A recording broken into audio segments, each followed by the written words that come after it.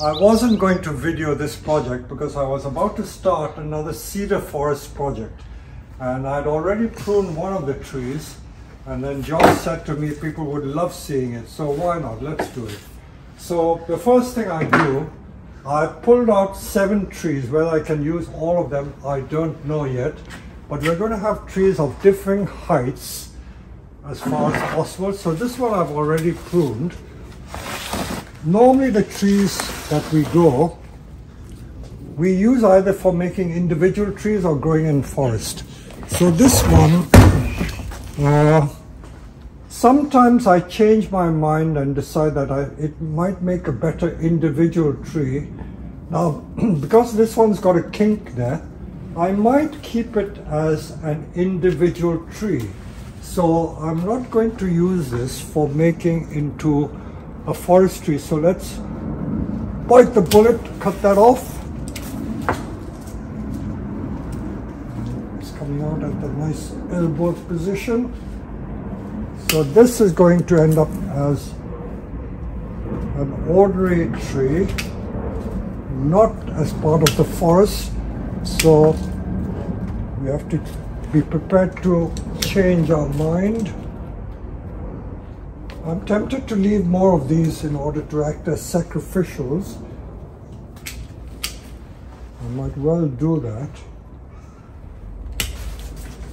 But even when I'm making individual tree, I've got to decide which branches to keep and which branches to discard.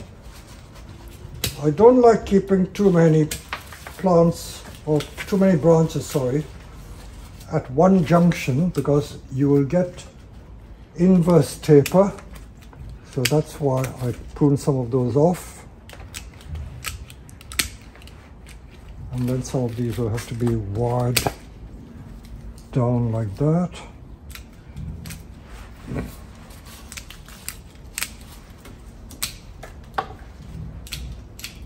I'll get Josh to wire some of these so you can see the end result so this is going to end up as an individual tree. So you can see the progress already.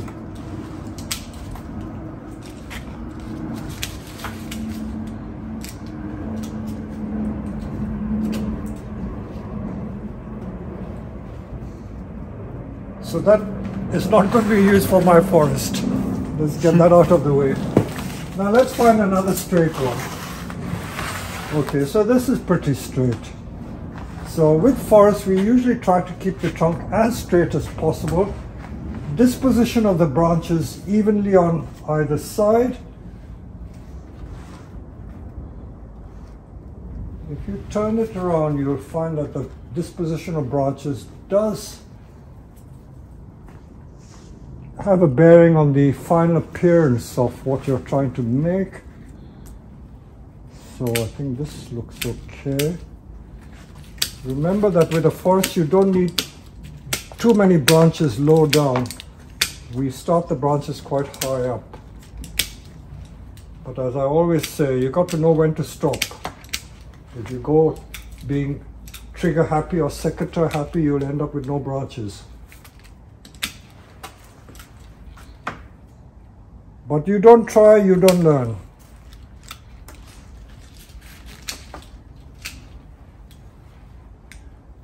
See, I'm trying to leave alternate branches like step ladder like that going up here and lose this one, then keep that one. Then there's another one there, keep that one. So I'm going to make them into tall A-frame, A-shape.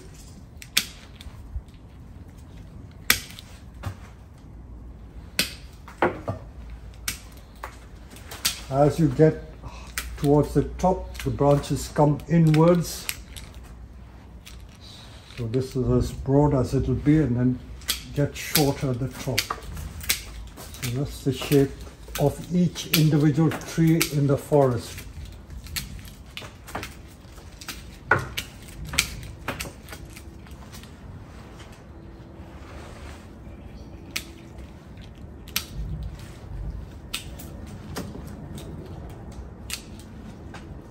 Do have to stop it at some point.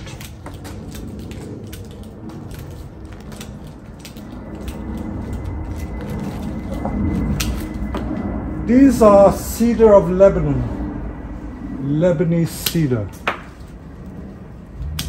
And I have quite a few customers who are from Lebanon. They love these plants.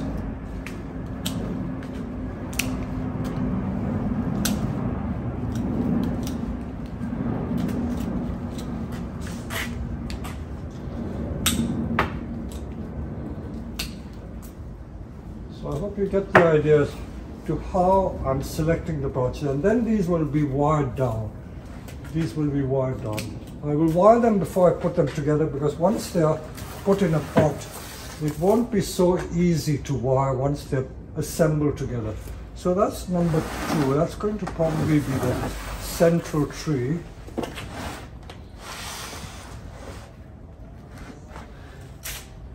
Okay, now this one is not as thick so probably we'll keep this slightly shorter. Determine the height straight away.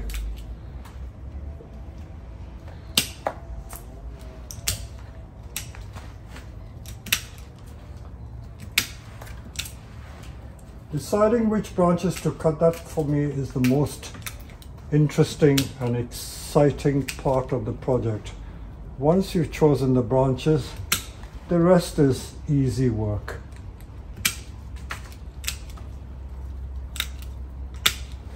So this one I can go there so I can take this one off. So you see how I'm climbing like that the ladder. One, two, three. Take that off. I can go up there. come here.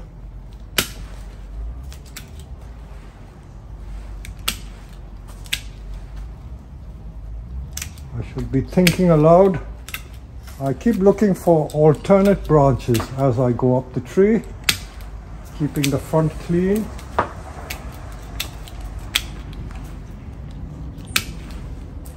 You see how the branches are being thinned?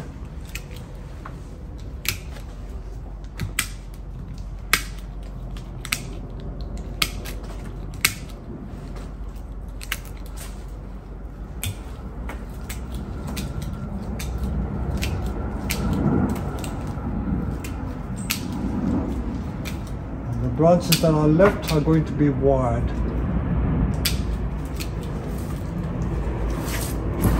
So that's the third one done. I think I probably would end up as a five tree group.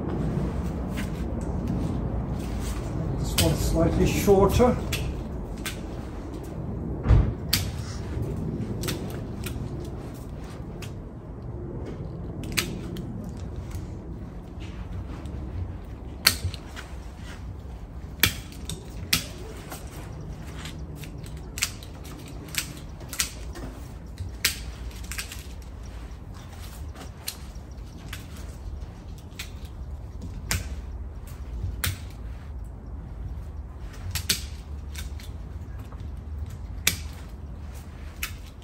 You must be wondering how I managed to decide as I go along. I think it's just by eye.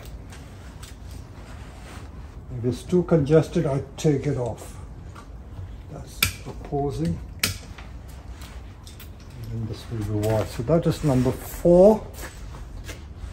That's my skinny. And number five, I will probably use that one. now this is a short one, I suppose. So we will cut it down to here.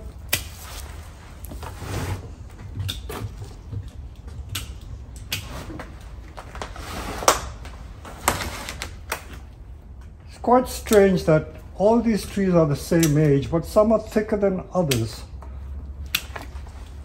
It's like people, some are tall, some are short. So trees behave in exactly the same way.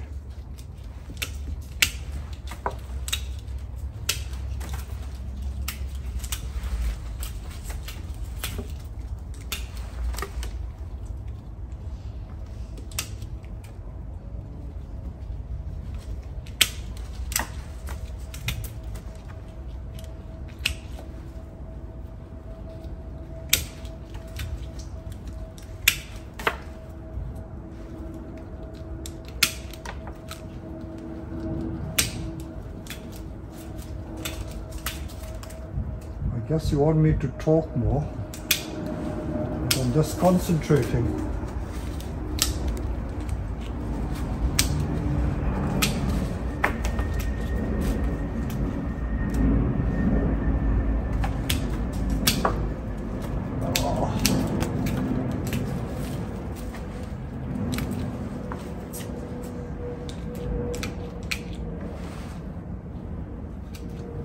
So we've got, I think we will stick to five trees. One, two, three, four, five, because they're pretty big trees. We need to get in a pot. So the next thing to do is to wire them. So that's not too difficult. So I hope you enjoyed this process of choosing the branches to wire.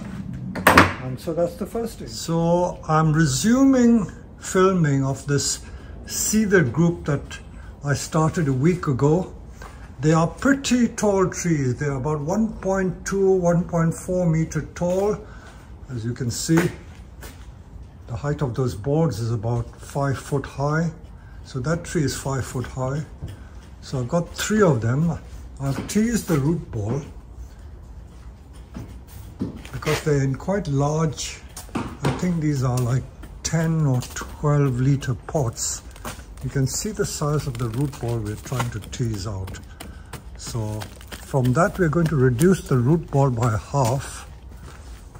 Can you hold that up, Josh? Yes, you see? What a lot of the soil we have to get off. And because we are now into November, into the dormant season, it's quite safe to do it. And not only that, because we have the greenhouse facilities, whatever we do, we can protect the trees in here. So I'm lucky that I'm able to do it at this time of the year. Normally the best time to do it is in early spring, February, March. But because I have the greenhouse facilities, I don't have to wait that long. So I'm trying to get seven trees into that pot. It's a rectangular pot. It's only a training pot because the eventual pot will have to be a large circular pot like a drum pot or an oval pot. So I've got four trees. I'll try and squeeze seven in, but it may be a tall order. If not, I'll put five in. So let's see how we go. Just to show you how severe we can be with the root ball, you see this root ball is pretty small compared to the pot it originally came out from. So we'll just show you the size of this root ball and we'll progress and get it down to about half that size, at least half that size. I'll try and get seven trees in that pot, but I won't force it. Just trying to get it in all in one pot is not the object. The object should be to make it beautiful so that there should be space and perspective all combined into that composition. So I'm now about to pot these cedars up together. I was going to use seven, but I think seven is going to be a bit much. I haven't wired the branches, but I've thinned the branches out. So let me prepare the pot. As I said, this is only a temporary training pot. The final pot should be an oval or a round drum pot. So preparing the base, sometimes I don't cover each individual hole with one piece of mesh. This large pot has got two, three, five, seven holes. So I'm only going to put three pieces of mesh. Now I know that a lot of the so-called bonsai uh, people, masters or whatever you call them, will laugh at me for doing things like this. But I'm not bothered, I'm not uh, stressed by people criticizing me, but I do things in a practical way. Uh, it doesn't matter if they say that what, what Chan is doing is right or wrong, as long as it works. I'm always reminded in the 80s when I used to be a public servant, Mrs. Thatcher met Deng Xiaoping in the 80s and her remark about Deng Xiaoping, that great, great man, I have the greatest admiration for Deng Xiaoping. And she said that she will always remember him for being a pragmatic person because Deng Xiaoping is supposed to have said, it doesn't matter if a cat is white or a cat is black. As long as it catches mice, that is all that matters. So same with these. As long as the thing works, why do we have to be bothered whether it is black or white or it's done this way or that way? So this is just a little anecdote about putting the mesh at the bottom.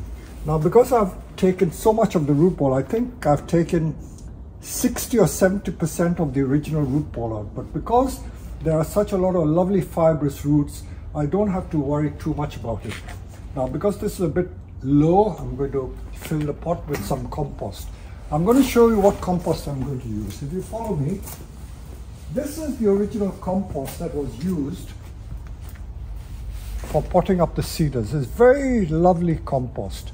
Again, I don't like to use the word peat, but it almost seems like peat.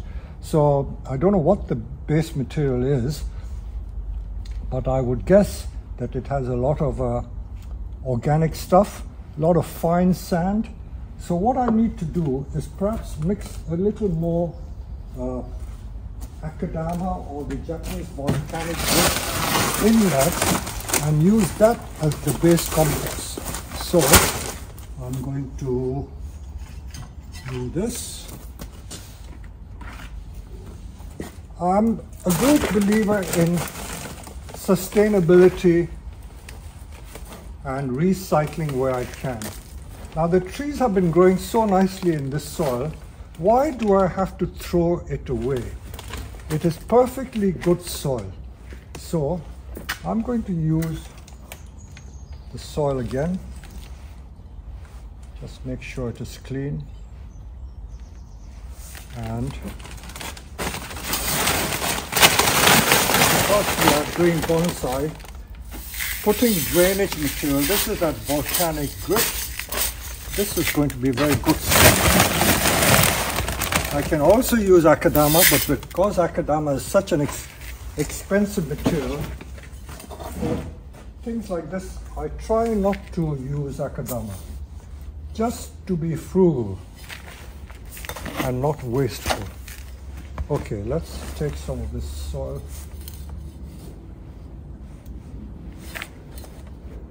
And if there are little bits of fine root, I don't have to sieve all that out because it's all organic stuff. The roots will rot and it will be beneficial for the trees. So I'm raising the surface because this is a deepish pot. And then I will see where we go from here. So the principal tree I think was this one. Is now the correct height.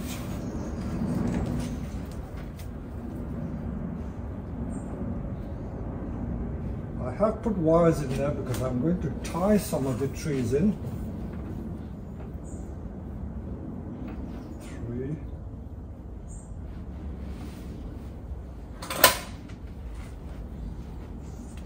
Four.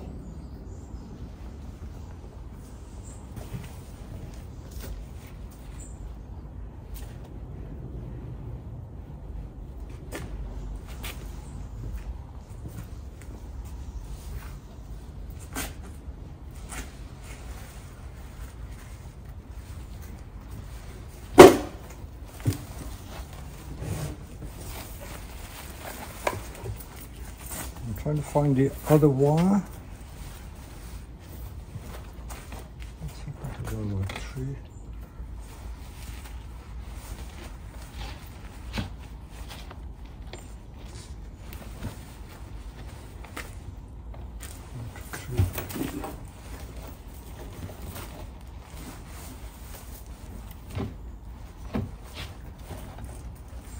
Oh, here we go.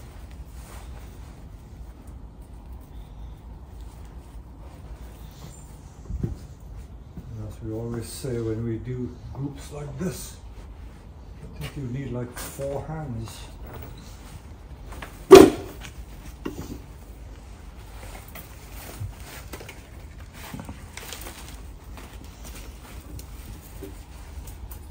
Okay, I'm putting some short ones at the back so that it gives perspective to make it appear that these trees are in the distance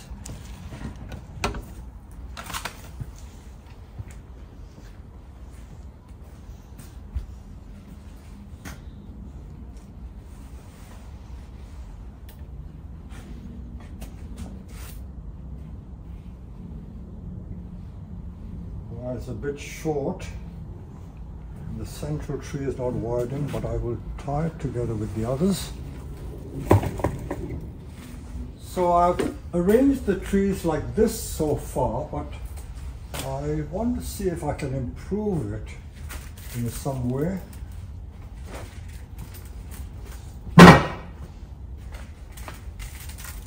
This side looks alright. If you look full frontal, this side looks alright. This tree and that tree, I might try and interchange to see if it makes a difference.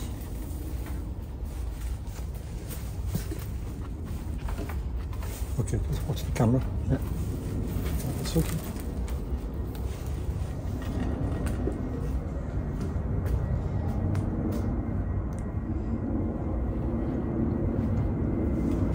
I was putting the short tree at the back, but I think having the taller one at the back might work better.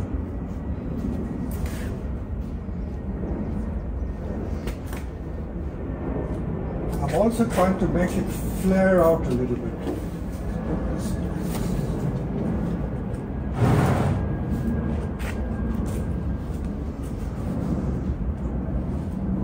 Just a little twist to one side or the other makes a big difference.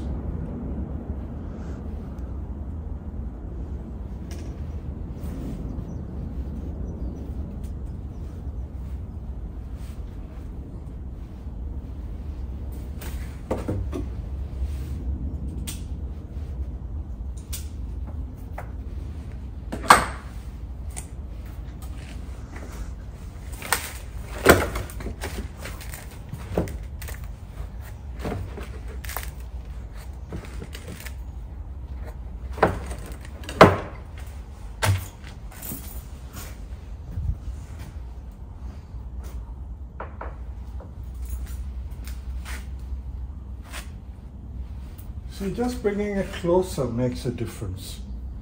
I don't know whether that's better or not. A little bit.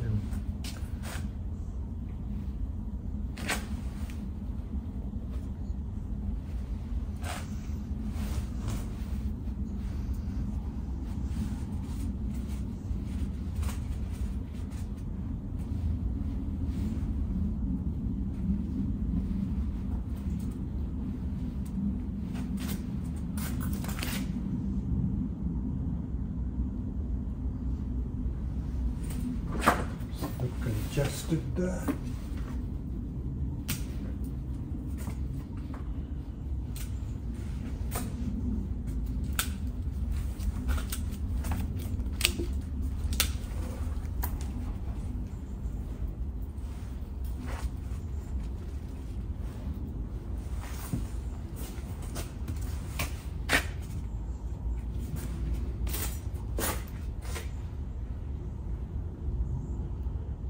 So I got away from putting the small trees at the back because now the big trees at the back, it still works. And of course these have to be all slightly wired. It won't remain like this. See this has been wired very nicely. Those have to be wired. I think we will leave it like that for the time being and see how we get on. So that's a five tree group. Stand next to it for size comparisons, it's huge.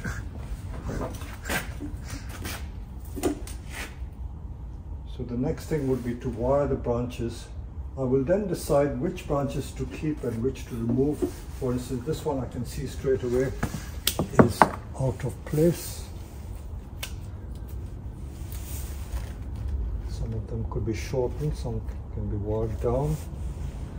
So that's how we've left this one. So how easy it is, you know, making a group is just, as I say, like flower arranging, arranging five stems of flowers.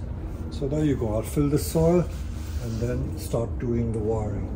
Okay. So we've got to this stage where we've potted the trees up and we are now going to wire the branches so that the branches hang downwards, there's a big difference between having the wires on the branches and not wiring them. See this tree is not wired yet, but when I wire it, you'll see the big difference. They make the tree look really old. So that's the next task to do. So all this has been done in less than one hour.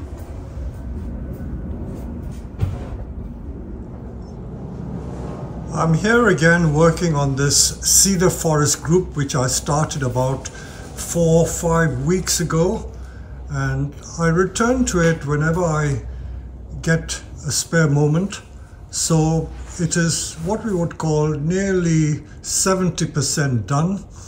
We've planted the trees in this large training pot and I have started wiring some of the branches you can see what we've done with the branches here. They're all wired because we want the branches to hang downwards. And the reason why we want the branches to hang downwards is because we want to give the trees uh, an aged look. In nature, as trees get older and the weight of the branches uh, gets heavier, the branches hang downwards. Young branches have branches that spring upwards. Now, these cedar trees, you will see on this one, you see the branches here have not been wired yet. And because they've not been wired, they don't look quite right. See, these have been wired, so I'm trying to wire them all down. So I've got to complete these. And the one, the two trees at the back have also got to be wired. So this is what I'm going to do now. And I'll get someone to video it in a minute. You'll see that there will be quite a marked difference when it is wired. It gives it a more finished look. So when branches spring up, they don't look quite finished, but when they hang downwards, they would be quite nice. Those that are horizontal are okay. What a lot of people would leave it as they are because this group is still under training. But I will try and complete it as far as I can so that you can see what the finished look uh, will appear like. I'm going to wire these two branches which have not been wired. So I'm going to go up the trunk. Again, remembering to use the two branch principle. The two branch principle is almost non-negotiable. Get into the habit of always using the two branch principle. So often I see people uh, not doing that and the tree looks a mess. So try and remember that. When you're new to bonsai, it's so easy to forget. You notice that I've taken the leader up because normally this would be a horizontal branch to give the apical look. Now these are not wired. Most of these branches are all of different sizes. These two which are just wired are thin. Now these two are thicker. So I'm going to try to match the same thickness branches with the same grade of wire. Never try and wire a thin branch with a thick branch because if you do that the wire won't be compatible and the results are not so pleasing. So this one I'm going to wire this one.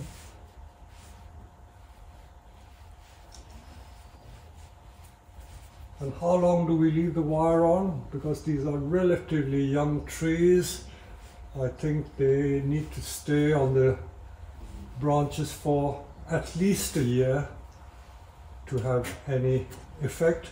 Now these two branches are slightly thinner so I'm going to go to slightly thinner wire now. So I'm continuing to wire all these branches downwards. Always trying to match the appropriate thickness of branch with the wire.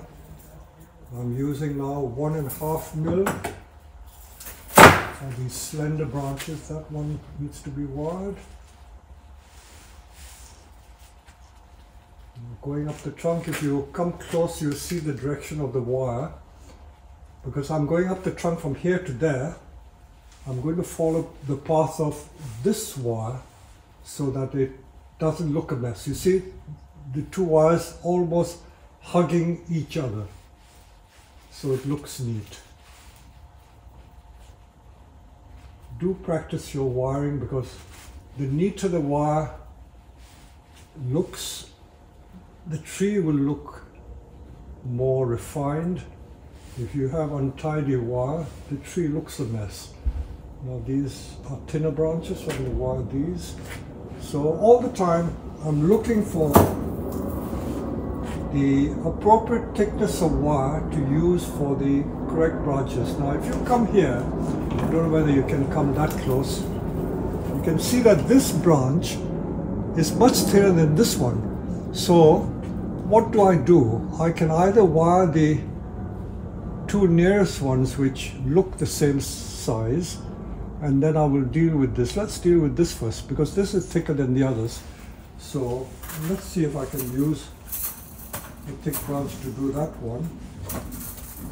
If it doesn't hold, then I may have to use another piece of wire. That means double it on this one.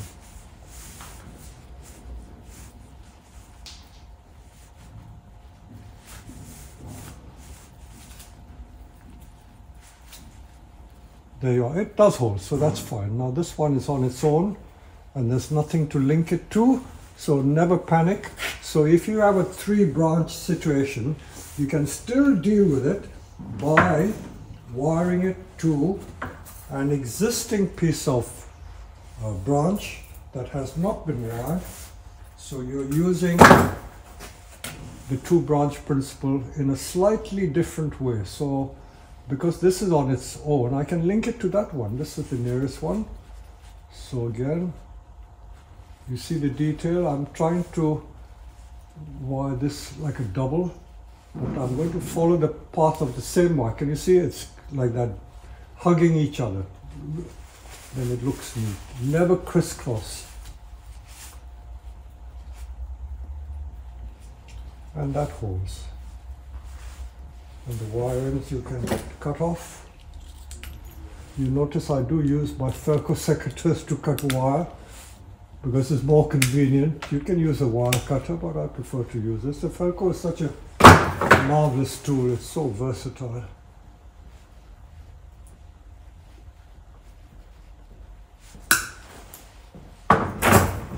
So now this tree has had all the branches wired so these front three have been done. I've now got to work through these. So all these are going to be wired downwards. I'm not going to show you each and every piece of wiring because that could become a bit tiresome. Uh, one or two of the branches which are springing up too strongly I may get rid of. Also when you make a forest group, the low branches are not that important. So for instance this one, this is a bit low. I can get rid of that one. Now why did I leave a little stub? Now this one I can get rid of. I can leave a little stub.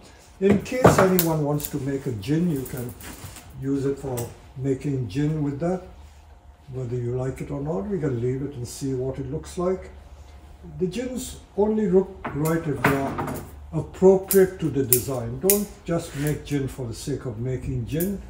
So Again, I look for similar thickness branches. So if you come close, you see these two branches are similar thickness and these two branches are of another thickness. So I will attempt to wire these two together. So this is really turning out to be a short lesson on how to do neat wiring rather than just making a group. So all these little tricks and tips do help in making the bonsai look more presentable and nice looking.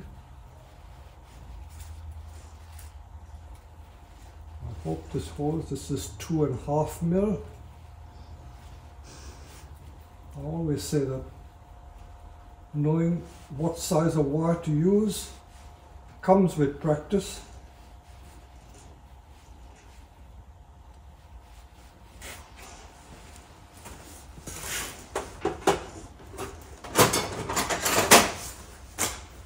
My favorite tool is the gin pliers and I use the gin pliers for terminating the wire. Okay, so that comes down like that, hangs down. You see, that's the look I want. Now these are different thickness, so I wire these together using a different thickness of wire.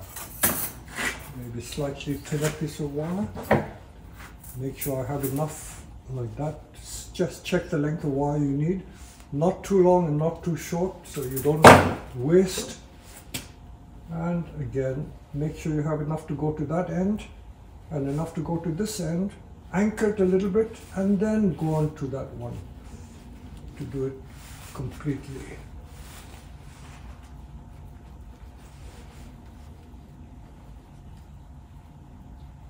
Some of you may be asking, is it okay to wire in the winter? Because I'm now uh, on the 30th of November and we are really into winter. And winter you can keep wiring, especially with evergreen trees. It's a good time of the year to do it.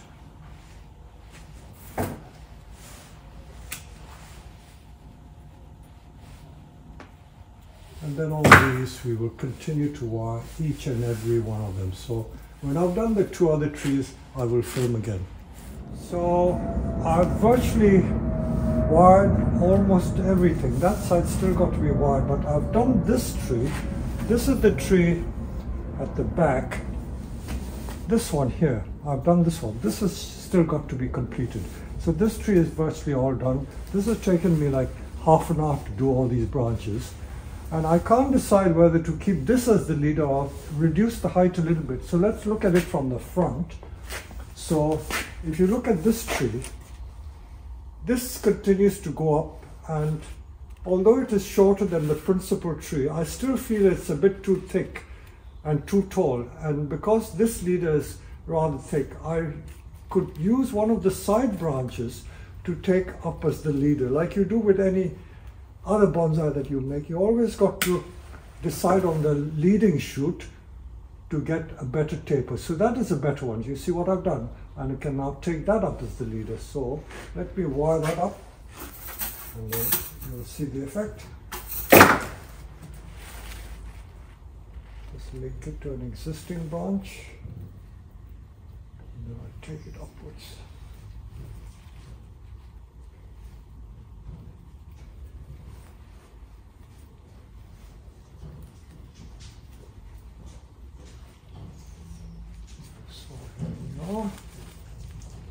So this can be taken up as the leader. So that's going to be the leader. And then this will be wired, just a tiny bit of wiring left to do. So that tree will be finished. So although making a group is just putting trees together, when you have to do the detail like wiring every single branch, that's what can take a lot of time, but it's worth it if you do it properly. Is a bit too much that made there. So this entire tree has been done.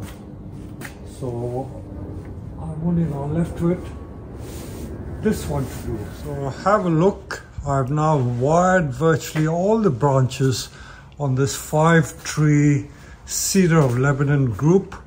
I've had to put it down on the ground here on another turntable because the trees were too high or too tall for me to work on. So that was a more comfortable height. So that is what it looks like. I will now get one of my colleagues to put it on the bench higher up and I'll take a final shot of the tree in just a second. So here we are. This is the group now. All the branches have been wired, hanging downwards. And this is what it looks like. I think the trees are, the tallest tree is about four foot tall. And for large gardens and large collections, this sort of group is quite acceptable. And before people shout and say that it's in the wrong pot. This is only a training pot. I like the roots to get well established in a deeper pot and maybe in a year or two's time I will take it out and put it in a shallow oval pot. That is the final pot for this group. I originally wanted to make it a seven tree group.